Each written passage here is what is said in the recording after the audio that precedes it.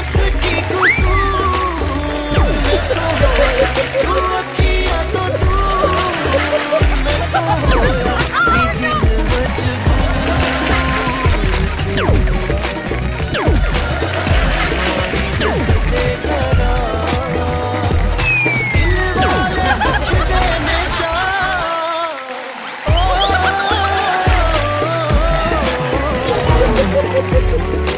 Holi to you and your family. Enjoy yourself and be safe.